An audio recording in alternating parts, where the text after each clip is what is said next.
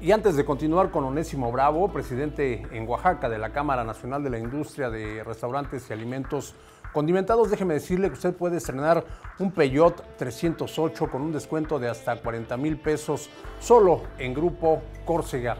Eh, bueno, pues lo va a estrenar también, debe tener dinero para la gasolina porque ya ve que ahorita está, está muy cara. Y fíjese qué increíble, qué increíble, Onésimo, México, un país considerado una potencia exportadora, productora y exportadora de, petróleo, pues parece ser que ha perdido este estatus, este ¿no?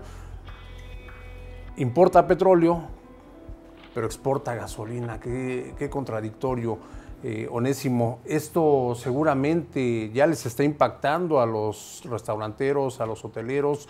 Eh, esto es inevitable.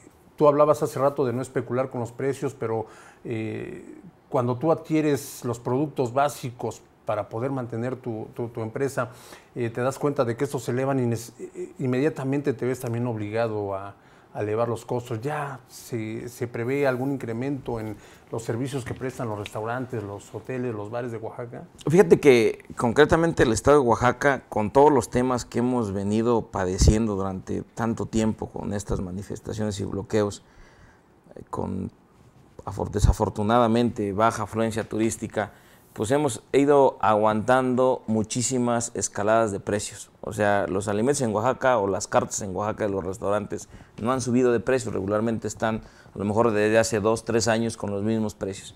Desafortunadamente con todo esto que sí se empieza a generar, seguro que estamos, nos vamos a ver obligados a incrementar en un porcentaje que yo espero no sea más del 15%, en, el tema de las cartas, nosotros hemos pedidole a todos los restauranteros que mantengan el tema de los precios, que aguantemos lo más que se pueda para no este, afectarnos, porque a final de cuentas nos vamos a ver afectados nosotros directamente. Entonces yo creo que eh, si las cosas siguen, si no cambia la política de, este gobierno en el tema de los hidrocarburos, indudablemente que no nada más los restaurantes, sino todos los, el tema eh, productivo de México va a empezar a subir sus precios, pues es un tema necesario porque eh, la gasolina es un medio de transporte que lo necesitamos todos este, y, para traer materias primas, para llevar materias primas, entonces indudablemente nos suben el gas, nos suben la luz eléctrica, nos vamos a ver en la necesidad de incrementar los precios en,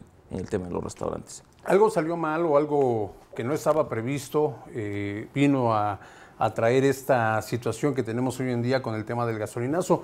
De hecho, el gobierno federal calculaba un incremento del 1% para este 2018, eh, un, crecimiento adicional eh, en este 2018 y de un 3% para el 2025. Sin embargo, vemos que mucho de lo que estamos viviendo hoy de esta situación que nos provoca el incremento de hasta 20% en, en, el precio de la gasolina tiene que ver con la inestabilidad del peso ante, ante el dólar. Pero este es uno de los factores nada más, Onésimo, porque hay otro más que, que parece ser el más, es el más importante, que es el tema de los impuestos. Fíjate que sí, lo que yo te comentaba.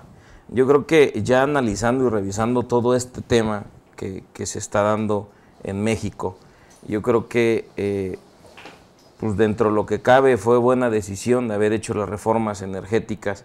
Eh, desafortunadamente no se han sabido o no, no, salieron las cosas como estaban porque hay una economía mundial que también está con una inestabilidad tremenda. Tenemos a un país vecino donde ya estamos preocupados qué va a pasar a partir del 20 de enero y que también juega un papel importante para el tema económico de México.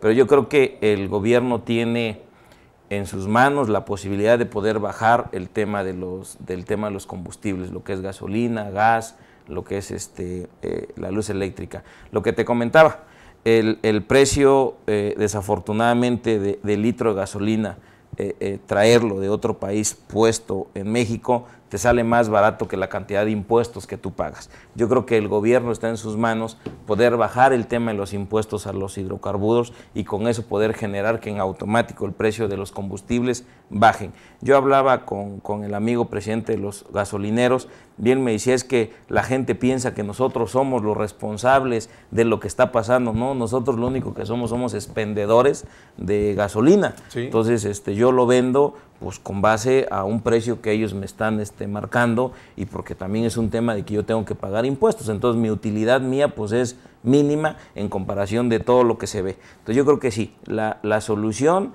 o una, una gran este, compromiso que debía de hacer el Congreso de la Unión es llevar a cabo el tema de disminuir el tema de los, de los impuestos en el tema de los hidrocarburos, concretamente en el tema de la gasolina, porque eso es lo que nos eleva el precio que nosotros como consumidores finales pagamos o terminamos pagando aquí en, el estado de Oaxaca y en todo México. Bueno, y a final de cuentas también los estados están eh, inmiscuidos inevitablemente en darle una solución a ese tema. Sí, yo creo que es la participación de todos.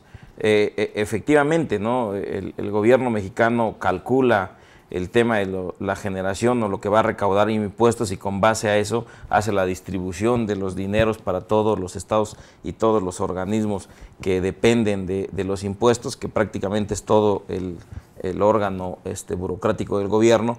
Pero yo creo que ahí también ellos tienen que aprender a pues a ahorrar. ¿No? Vemos una Cámara de Diputados, una Cámara de Senadores que se dan unos aguinaldos tremendos, bonos de compensación, me sobraron 57 millones de pesos, pues alfombra el, recinto legislativo, cosas que vemos que de verdad ellos también debían de entrar el tema de la austeridad. Yo creo que si ellos como... Eh, poder legislativo, como representantes del pueblo, no ponen de su parte, pues yo creo que va a ser eh, eh, inevitable que México pues, tenga esta escalada de movimientos de precios y, indudablemente que juegue importante el dólar, pero también el despilfarro de dinero que vemos que hacen ciertas áreas de gobierno. ¿no? Claro. Onésimo, eh, ha habido una transformación en Oaxaca de, de diciembre, de los últimos días de diciembre para, para acá, para estos primeros días de del año esperan que Oaxaca realmente tome el control eh, y la paz, la estabilidad que, tanto se requiere y esto sin duda pues nos va a traer beneficio a todos. Fíjate que sí, yo creo que este, el gobernador ha hecho un papel importante en el tema del diálogo con, con, todas, con todas estas organizaciones que son las que nos han tenido aquí muy, con el pie en el pescuezo, decía mi abuela. Pero yo creo que el tema de, la política este, interna, yo creo que va a ser o es fundamental para que podamos tener paz, podamos tener armonía en el Estado. Eh, de verdad, yo creo que eh, tenemos que como sociedad hacer un compromiso, hacer el compromiso de reconciliarnos entre nosotros, porque estamos como que muy dolidos con todo mundo, nos enojamos, yo creo que hay una debemos de lograr una reconciliación como sociedad. Yo creo que si trabajamos en conjunto con el gobierno, vamos nosotros impulsando también todas las cosas buenas que se hagan. Yo creo que Oaxaca tiene un, un, futuro este, que le va a ir bien. Y yo creo que con la, la, la, la política del nuevo gobierno, pues yo creo que nos va a ir bien a los oaxaqueños. Yo creo que lo único que le hemos pedido que, que, contenga el tema de la política social y a las organizaciones sociales para que todo Oaxaca esté en paz. Claro. Antes de, irnos, Onésimo, fíjate, fíjate que pues eh, ya mucha gente está preocupada por el aumento al, pasaje, al transporte público la Secretaría de Vialidad y Transporte emitió un comunicado eh, en el que señala que ante los incrementos de gasolinas Magna, Premium y Diesel del 14.2, 2.1 y 16.5% eh, respectivamente, eh, esa dependencia no ha emitido autorización alguna para el incremento del pasaje en ninguna modalidad del servicio público de transporte. la Cevitra señala que estos incrementos se han hecho de forma unilateral y arbitrario y esto traerá como consecuencia una escalada de precios impulsada por la especulación que afectaría negativamente el poder adquisitivo de la ciudadanía. Y bueno, la, la Cevitra proporciona algunas direcciones, el número telefónico 50 11 661 extensión 1104 o bien a través de las redes sociales en Twitter Cevitra-GOPWAX y en Facebook Cevitra Gop Wax para que si usted eh, está inconforme por los aumentos de precio que han eh, hecho algunos transportistas, principalmente los del Valle Teco, pues lo haga de conocimiento de esta autoridad de inmediato para que se tomen las medidas necesarias. Onésimo Bravo, presidente en Oaxaca de la Cámara Nacional de la Industria de Restaurantes y Alimentos Condimentados, ha sido un gusto platicar contigo esta esta tarde en Espacio Ciudadano, el primer programa del 2007. Esperamos tenerte más adelante platicando ya de algunas cosas más positivas. Te agradezco muchísimo. Pues muchísimas gracias, muchísimas gracias a usted auditorio por el favor de su atención. Lo invito para que en la siguiente emisión nos veamos en punto de las 12 horas del día aquí en la señal 152 de Easy Espacio Ciudadano. Hasta entonces.